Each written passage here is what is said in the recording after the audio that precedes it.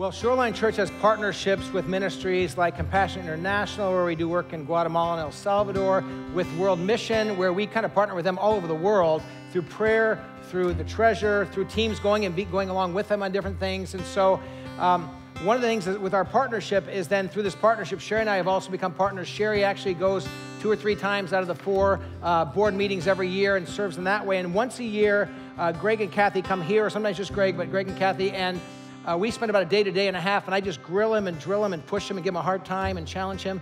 And uh, but we talk about vision and long-term plans and where the ministry is going. And I actually remember, and I was, we were talking about this before, about four or five years ago, Greg was telling me, he said, yeah, you know, last year we brought out this many treasures uh, to the world, and then the next, this year, we, you know, we increased by like 11%, and this year, we, then we increased by 12 or 13%. And he said, I'm looking at this next year, and I said, what if you increase by about 200 to 300%? And he said, what? And I said, What if you didn't just in- incrementally, like multiplied, because it's so important and it's urgent? And he said, Well, that would mean we have to change our structure and our staff and everything. Remember that? And I said, Yes, it would. And what have you done the last few years? Changed everything, right? And, and you're giving out now close to three times as many treasures, right? Exactly. And so God is multiplying, and you are part of that. We're part of that. And so I want to pray for Greg and Kathy. He'll tell you a little bit about his family, uh, but I want to pray for God's blessing because they are in this as a team for about 20 years. They've been serving the world by bringing God's word. And I will tell you, that brings um, spiritual attack and all kinds of things against them and their family. They need your prayer. So will you pray with me right now? Lord Jesus, thank you for Greg and Kathy. Thank you that they stand in the power of the Holy Spirit.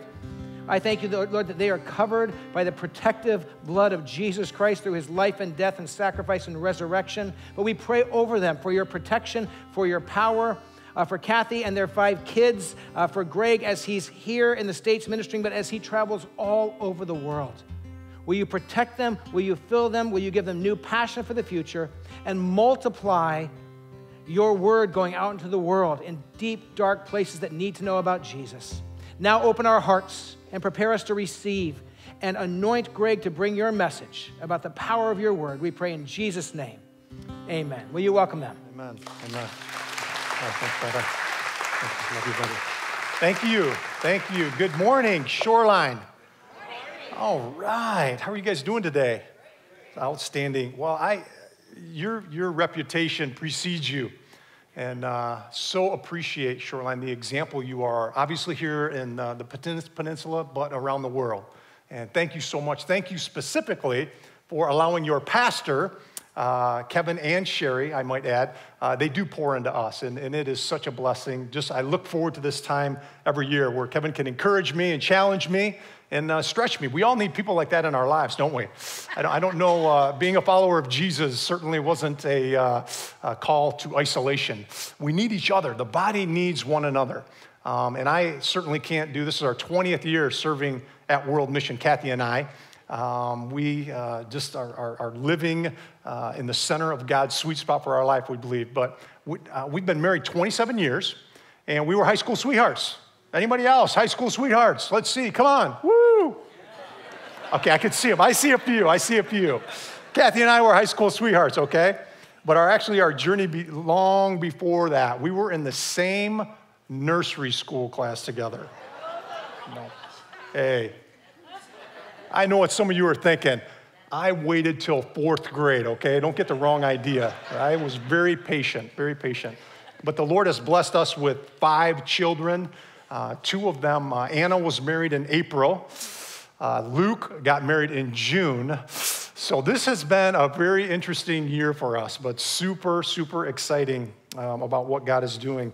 And, uh, you know, just to be a part of seeing the gospel go around the world. And that's my privilege this morning to preach about how the Word of God is changing lives. And uh, we're going to talk about this this morning. But the Word of God is important. I mean, if this is the, the book the single book that guides your life and my life and what we um, strive to follow. It's important we know about it, isn't it?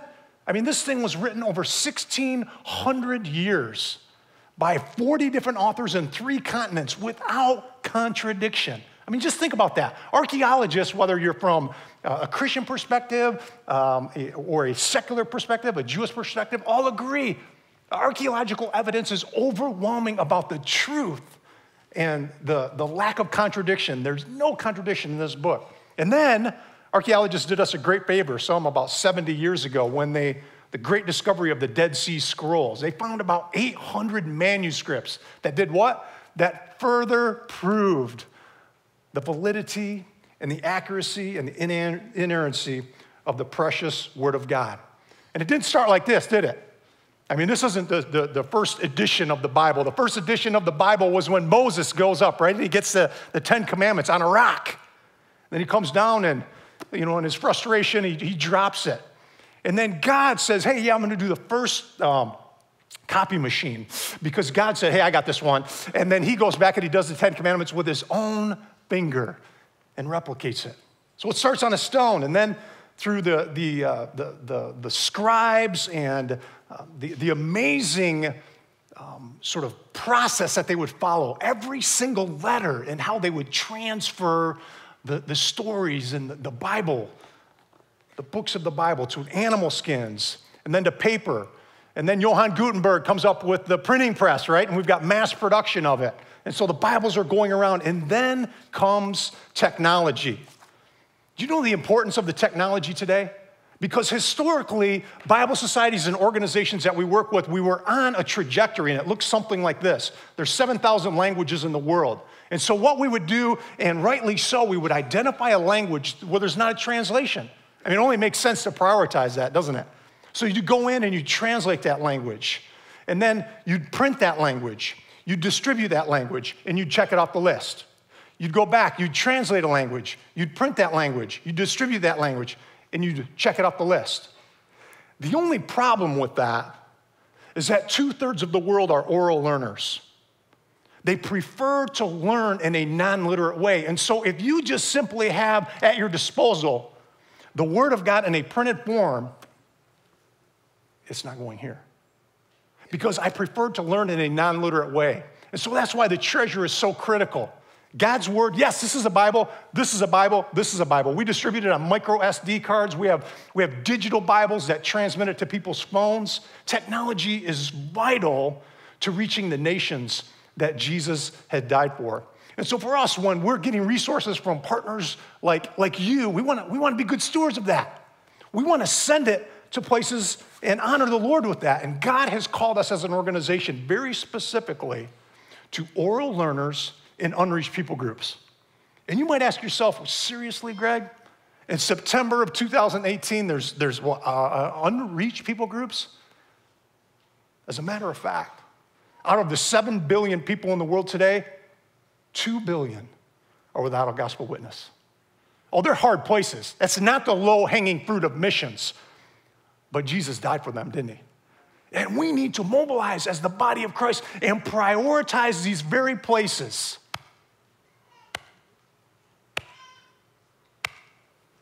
Every time your heart beats today, someone will go into eternity who has not had a single gospel witness. It's not that they're driving by a church, hearing it on radio, a Christian approaching them. There's not one single gospel witness. That's where the treasure goes. And you guys are making that happen. There's a couple photos I'm going to show you because when you prioritize and you feel the stewardship issue of where are we going to send this, you ask yourself, God, Wizard need the greatest. And I would argue with you that we could make a case Jesus had a special place in his heart for the least of these, didn't he? I mean, Jesus was always drawn, drawn to the down and out, the weak and the vulnerable. My claim today would be that the least of these in our generation, which by the way, we're stewards of, in our lifetime, we're stewards of this earth. We're stewards of the final words of Jesus, aren't we? And I would make a charge or a claim that the greatest representation of the least of these, the weak and the vulnerable, are those that are displaced, like this beautiful, precious girl in a refugee camp. They wouldn't allow us to see her face because they said if she's somehow exposed, it'll be just an unbelievably heavy price that she would pay. Forced to marry at a young age, but amazed and drawn by the compassion of Jesus. Particularly, we asked her, we said, Well, what is it about the compassion? She said, When Jesus healed the blind guy. Oh, that did something to me. That Jesus would identify with someone. Well, why do you think that is? Because she puts herself in that place. Do you know that today there's 68 million displaced people in the world today? On our watch. War, violence, persecution. And every two seconds, a new person is added. What's interestingly about the displaced people of the world is there's something in common they have. Because if you were to look at the world and the countries and say, where are they coming from? The list would look something like this Syria, Afghanistan, Somalia, Myanmar, Iraq, Nigeria. Ah,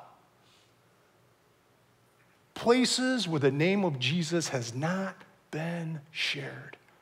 And yet, because of their displaced situation, they're sent where? Like she is, in a refugee camp, where now all of a sudden the body of Christ has access to them and we didn't before. An unprecedented opportunity in the body of Christ today, on our watch, to go to these refugees that previously were not accessible, but now we can go into these refugee camps. The next photo is a man from Iraq all love the Word of God, loves the Word of God. His testimony is, yeah, I'd rather stay here in this refugee camp than go back to Iraq, where I'll be targeted by militant Sunnis that will try and kill me. I would rather stay in this tent in this refugee camp than go back. And oh my goodness, was he blessed by the Word of God. And by the way, the treasures that are distributed to that beautiful uh, lady and then this man as well are all distributed through the body of Christ. All of them. I mean, it's hard to make a disciple without the Word of God and the body of Christ, isn't it? And so the body, local Christians are reaching in and they're loving this guy and they're telling him about the Lord and raising him up. And then the final photo, a young girl. As we're reaching out to the, the kids from Muslim background families, I might add, the parents are like, I want nothing to do with them, associating it with the Western religion. But they'll send their children because they love them, care for them, feed them, teach them English, give them treasures. And what happens when she turns the treasure on and she's listening to it? It's going into her heart. And these stories that she's memorizing, where do they go once they go into her heart? They go home to mom and dad, don't they? and all of a sudden, you start mobilizing a whole young generation of missionaries, taking the gospel into these unreached places. The other three thing that those photos had in common and they were, is that they were all from Lebanon, every single one of them. Why Lebanon? Because it's the only country in the Middle East where it's not illegal to convert from Islam to Christianity. Guys, the Word of God is changing lives today. It's changing the world. In these ways, it's changing the world. The Word of God, it equips us. You and I, when we come in contact with the Word of God, it equips us. This is what the Bible says in 2 Timothy. And from infancy, you have known the Holy Scriptures, which are able to make you wise for salvation through faith in Christ Jesus. All Scripture is God breathed and is useful for teaching, rebuking, correcting, and training in righteousness, so that the servant of God may be thoroughly equipped for every good work. Wow. Every word inspired by God not of human origin, is it? The words, it's eternal truth. Through it, we have understanding of the riches and depths of the knowledge of God. That assurance and confidence equips us, doesn't it? And it changes our behavior. I have the privilege when I travel around to meet some inspirational stories of people, precious, precious people, children, men, women who have been transformed by the power of the gospel. Abba young men in West Africa. You may have heard of Boko Haram. It's one of the active uh, terrorist group that's out there. Now, Boko Haram is a Hausa language, some 30 million speakers, 99% Muslim. And Boko Haram literally means Western education is evil. That's what you stand for. And so, as a result, anything that's accepting of Western education becomes a target. And so, as you can imagine, so many Christians are, and even moderate Muslims. But you heard of the, the kidnappings of those 200 plus young women from northern Nigeria, Boko Haram, the hands of Boko Haram. Well, they also are targeting individuals. And one man, a, very influential individual, came to know the Lord. God, God saved this guy in a miraculous way. And he started sharing the gospel. He started leading other Muslims to Jesus and became a threat. And so Boko Haram mobilized a group of people and they went to his home and they executed this man with his son right next to him. They took the young boy whose name's Abba, they took him to the local Muslim imam, and the imam said, Your dad was a fool. He's not Christian, he's a Muslim, and so are you. 12 year old boy. Beat him, tormented him, used them as a slave for two weeks. The first moment Abba had when he was out of their sight, they, took, they sent him to fetch some water. As soon as he got out of their sight for the first time in two weeks, he ran as fast as he could to who he knew was a, a local Christian pastor in the area. Shows up at the pastor's office and said, Pastor, they killed my father, they killed my father. They've been, they've been tormenting me and, and they're, you know, they're forcing me. They're saying, you know, all these horrible things and they'll do to me. And we were able to get in contact with them through our partners and we got him to safety. But as our partners on the ground did that, they said, Abba, you know that had they caught you, they would have killed you. But I know. Abba, why'd you do that? Why'd you run for your life? They would have killed you. And this is what the 12 year old boy said. He said, Because the bullet that killed my father has made me more determined to follow Jesus. A 12 year old boy. Now, was that just because his father was a great orator and a great debater and telling him, hey, here's why Christianity? Or was it because his father seeded the word of God inside of Abba's life and equipped his son. I love the statement, the quote that someone said A man who has an argument is always at the mercy of a man with an experience. And when that experience is the living, active word of God that won't return void that's inside of you, oh, the person with an argument doesn't have a chance. The Word of God mobilizes us. The Word of God mobilizes us. This is what Paul said in Romans. So, from Jerusalem all the way around to Illyricum, I have fully proclaimed the gospel of Christ. It has always been my ambition to preach the gospel where Christ was not known, so I would not be building on someone else's foundation. And, and I believe Jesus modeled that well. You know, back in their day, the Jews and the Samaritans really didn't get along that well. And if you were in Judea and you had to go to Galilee, you, you couldn't get there without avoiding Samaria. Judea, Galilee, all in between. But the Jews would. They'd go around the east side of the Jordan River and they'd come back in. But there's an amazing story in the Gospels of the woman at the well. You're familiar with that, the Samaritan woman where Jesus beelined it right through the place that his disciples are like, oh, what are you doing talking to her? Oh, he had an assignment. And as the gospel mobilizes you and I, it takes us to uncomfortable places, doesn't it? I mean, it's not fun going to that next door neighbor who's super hostile, is it? You've invited them to Shoreline, their family. Nah, don't want to be a part, don't want to be a part. How about when you're a student at a school and kids mock you? Not a lot of fun, is it? Not a lot of fun. And going particularly where the gospel's not been, hostile environment. But this morning, I want to encourage you that Christianity is the only religion where God demands a sacrifice and then provides it himself. Only religion.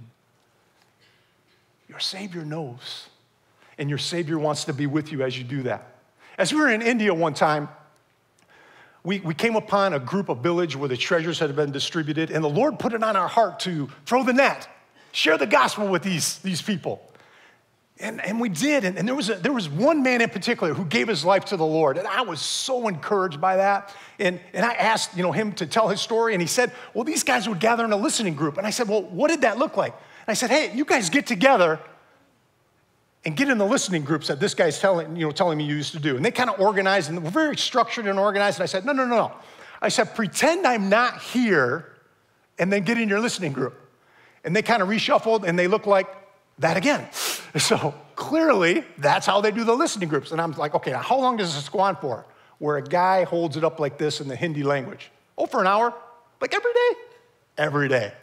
We listen for an hour, and whoever can come, comes. and just listens to the word of God. So this man who got saved, he said, Well, I would walk past this village every day in a little trail that went right next to where they would gather, and I would stop. And I would listen to that because it was in my own language. We said, Well, what happened? He said, Well, every time I do that, this is a Hindu man, every time I would do that, it would bring peace to my heart. This guy has no Christianese, no vocabulary, no concept of, you know, what's the right thing to say. He's just saying, it brought peace to my heart. You, you recognize that's a supernatural occurrence, right? The word of God going into him. So we said, we got to give this guy a treasure. And so I, I put one in his hands, and before I did, I said, when I come back next year and talk to you, I'm going to ask you, how many people have you shared this with? He, oh, he took that question seriously. Looked all around.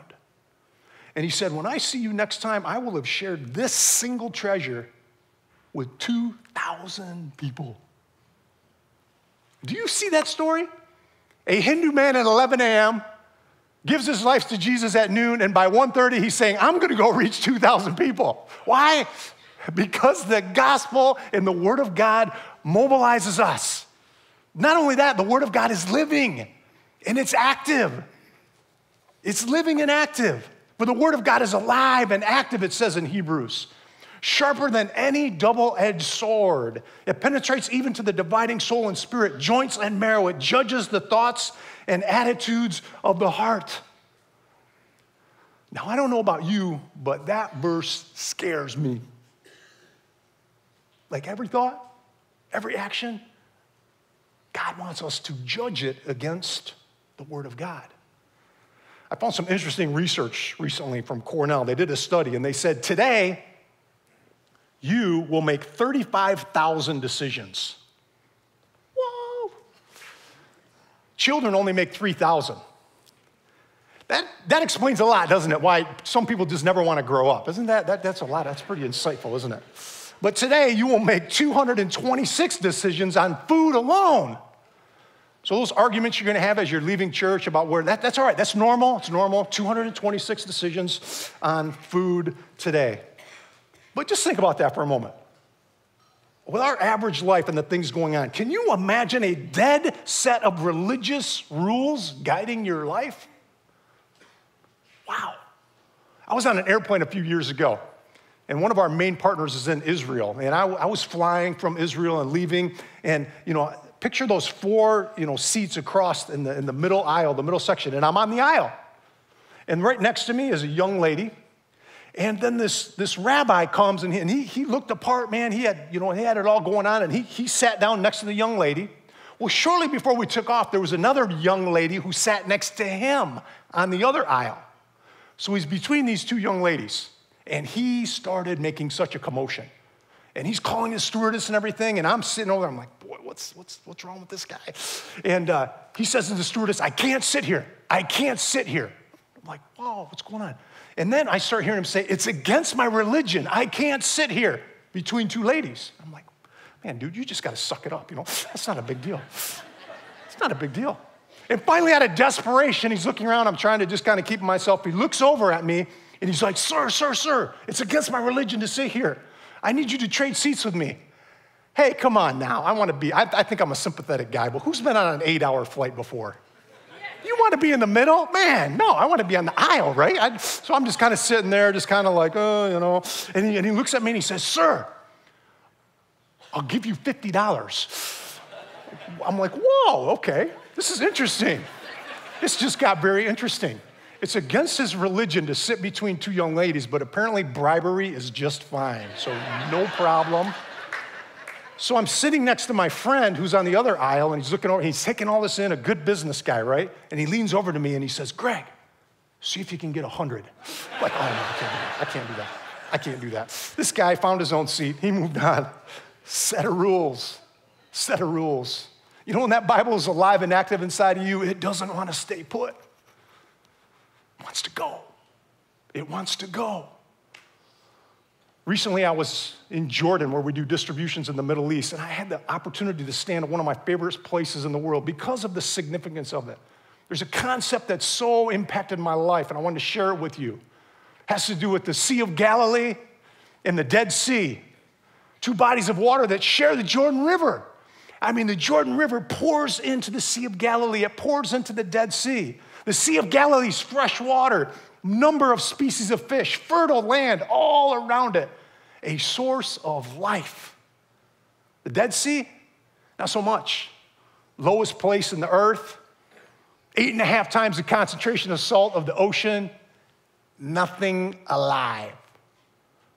What's the difference? The Sea of Galilee receives from the Jordan River, and then it generously disperses the Jordan River. The Dead Sea looks beautiful on top, doesn't it? Takes and takes and takes and doesn't give anything. And I think there's a visual there for our Christian life. This living, active Word of God that's inside of you doesn't want to stay, it wants to be shared. And I think you and I can live that out and impact this life and even this world in even greater ways. The Word of God finally is a seed. It's a seed. Having been born again, not of corruptible seed, but incorruptible, through the Word of God, which lives and abides forever. When Peter wrote this, it's interesting the timing of it. It was during the first persecution of the Christian church. What most people say is, yeah, Nero was probably the emperor there. This dude was hostile towards Christians. He'd set Christians on fire for his own entertainment and have them run around. Nero was a bad dude. And Peter's writing this idea of this seed that's incorruptible. Yeah, in other words, no matter what's going on in this world, you can't touch that. You can't take that seed away from me. And just like a seed, the Bible is full of hidden life. One of my favorite individuals I've met over the years, his name is Deo. Deo Mwamba. Now, there's a lot of reasons why Deo is precious to me. He's one of our national partners who distributes treasures all around the Muslim world. But Deo's story is that he was a former Muslim sheikh. Imam, sheikh. Went to Medina, had studies. You don't hear about these people converting very often. But someone deposited a seed inside of him. You see, the Quran talks about Jesus actually fairly favorably. Talks about Jesus was a great teacher, Jesus the prophet. Jesus even performed miracles. Where the separation comes in the Quran, and Muslims and Christian is Jesus, the Son of God. That's where the divide is at. And so here Deo is, and he's learning about Jesus, do all these wonderful things, and he's drawn to that reality. Jesus, wow. Well, he got, when he got his first assignment in Africa, he befriended a bishop. Now, most bishops aren't in the habit of making a Muslim sheikh their best friend. It just normally it doesn't end well, okay? So he's got this sheik who kind of keeps coming to him, tell me about Jesus, tell me about Jesus. And you know what the bishop said? Great wisdom, by the way. It's in the Word. It's in the Word. So we kept pushing Deo at the Word. And Deo was driven to it, and he went into the Word and, and he, he learned more about Jesus. And this living, active book exploded inside of him, and he became a follower of Jesus. Interesting little side note is when he got saved, he, he went to the bishop. He's like, What do I do next? What do I do next? And they said, Well, get water baptized. He's like, Okay, water baptized. He, well, Deo, as a normal sheik, is not uncommon. He had multiple wives, so he has two wives. Uh-huh. How am I going to deal with that? It's like, so the morning of his, him getting baptized, he goes to the first wife, who was also the daughter of a, a sheik, and she says, or he says to her, I, bet I become a follower of Jesus. Well, she spits in his face. That's blasphemy. And off she goes and takes, you know, the children that she had with him. And he, he's thinking, oh man, that didn't go very well. So he goes to the second wife and he says, I become a follower of Jesus. Today I'm getting water baptized. And she looks at him and she says, Praise the Lord, I've been praying for you. he thought he converted her, but he didn't do very good. He didn't do very good. Well, today, that seed that's exploded inside of Deo has caused him to have compassion on the least of these. And a guy who's brilliant among Muslims is also drawn, that last photo was a pygmy guy. The pygmies are the last remaining unreached people groups. I mean, if you want to go to the, one of the hardest places in the world, and I can attest to that because the last time I was in the pygmy area, I got malaria, okay? It is a tough place to go. But they've never heard of Jesus. And Dale is drawn, and he's drawn, and he wants to distribute treasures there, just like that's one of our distributors. When you guys build a Change Your World box, you know what happens to it? That pygmy guy's walking around with that. And do you know what he's done in the last three years? 40 new churches have been established among the pygmies. God's moving, God's working. And we can talk about the nations of the earth, can't we? Jesus' final words go make disciples of all nations. We talk about the stories of what God's doing around the world. But at the end of the day, it comes back home, doesn't it? It comes back to you and I because the same truth of what the gospel can do around the nations of the earth applies to you and I. It applies to us. And friends, if I have seed in my hand, which is the gospel and the word of God, and I'm sowing it up here on this stage, I probably aren't going to get very good results, am I? So here's my question for you this morning What's the condition of the soil of your heart? Because that's everything. It can either bounce off, or if that seed is readied and it matches soil that's been prepared and nurtured and is hungry, oh my, the transformation that's going to come to my life and your life. God wants His word to transform our lives, not just the nations of the earth. Shoreline, you can have it both. You can see the pygmies coming to know Jesus and the Somalis in refugee camps, and at the same time, you. And everyone around Monterey Peninsula becomes a target because of the seed that's inside of you. Amen? Let's pray. Father, we thank you for your word. We thank you for the truth of the gospel that will not return void. Father, we thank you that this incorruptible seed, you have given us the privilege in this one life to take stewardship of that seed. Father, help us to magnify the potential of that for your honor and glory, not only for the sake of the nations of the earth that are being impacted, Father, but for our own lives right here, for today, for tomorrow, for next week, and the lives that we can impact because of what the word has done to us. Bless my friends, encourage them. Lord, they're doing great things. Continue to encourage them in this journey as they're glorifying you. We give you thanks and praise in Jesus' name. Amen. Can we thank Greg for bringing God's word? Hmm. So I want to give you a challenge and share a couple words before I give you a word of blessing and send you off. Your heart is soil. Keep putting this word into your heart. Read it. If you're not a big reader, listen to it. Just pull up a Bible app and we'll help you. If you need help, go to the connection. We'll just get a Bible app and start listening to God's word or reading God's word every day. And also, uh, I, this is actually my Change Your World box. I keep this uh, on my desk with this reminder, with this treasure. Every time I fill this up with change, I just turn it in here at the church. I actually don't give them the box. I dump out the change. I keep the box. You know why? Because I'm going to fill it up again and again and again. And on average, it's a crazy thing. On an average, if you fill this up with random change, it's about enough money to get one treasure and put it out in the field in the hands of some of those people you saw up on the screen. I'm going to keep doing this as long as you guys keep taking them all over the world, Greg and the team does. I'm going to keep filling this thing up and turning it in again and again and again because it's changed to me but it's the Word of God in life to other people. We have a bunch of these boxes out in the courtyard, and if you want to pick one of these up and put it in your home or do it with your kids and be involved in getting God's Word out there to the ends of the earth.